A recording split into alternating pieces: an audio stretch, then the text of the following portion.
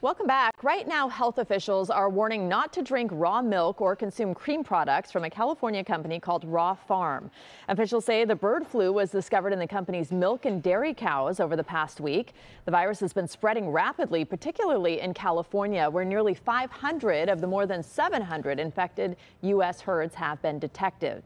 Health workers across the country are keeping an eye on the virus, and that's that's caused these large outbreaks. But could it affect you, and could it be our next pandemic? We're joined now live by Dr. Matthew Binnicker. He is the director of clinical virology at the Mayo Clinic. Welcome. Thanks for being here. Thanks for having me on this morning. So this virus has been around for decades, but we're, we're recently now seeing it across continents, across different species. Why does this concern people like you? Yeah, as you mentioned, we've known about bird flu for decades, but over the last two years, we've actually seen the largest outbreak of avian influenza in wild birds, poultry, and now in a number of different mammalian species in recorded history. So this is a very large outbreak that we're observing. We're also seeing cases in humans with about 58 cases uh, detected in the United States to date. The virus is uh, not only infecting animals and humans, but as it does that, it's changing over time, which raises concern that it might mutate to a point where we start to see uh, human to human transmission, worse disease, and potentially large outbreaks among humans. That hasn't occurred yet, but we're very um, aware and concerned about that possibility. So, could this be our next pandemic?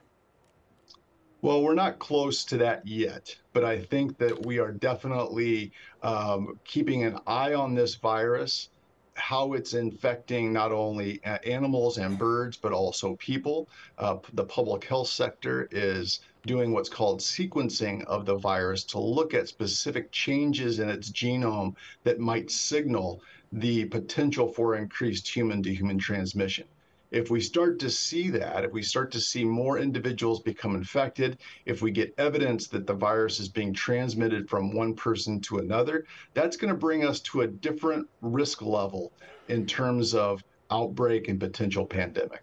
So maybe we should back up a little bit and talk about how we got here and what exactly bird flu is.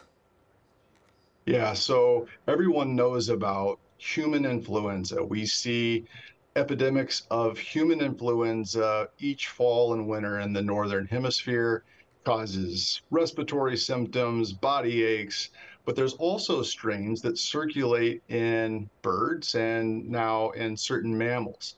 Uh, we've known about avian influenza for decades, but we haven't seen to date uh, the large spread transmission of these viruses in birds, poultry, mammalian species that we've been observing over the last two years.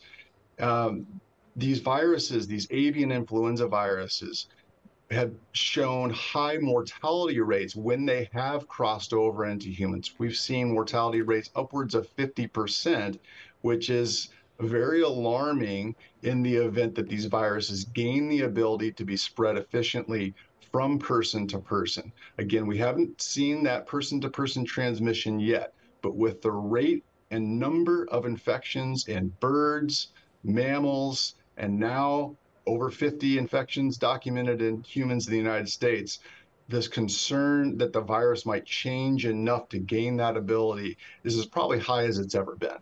Uh, doctor, we only have about 30 seconds left. Can you just tell us how we can protect ourselves? Yeah, first and foremost, if you work with birds, poultry, work in a dairy facility, and you're interacting with any uh, of those animals that might be sick or have died, you need to avoid contact or wear protection on your eyes, over your uh, mouth, and wear gloves.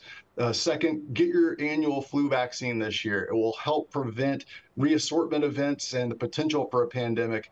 And then third, don't drink or eat raw or unpasteurized uh, milk or food products. Okay, all good tips. Thank you.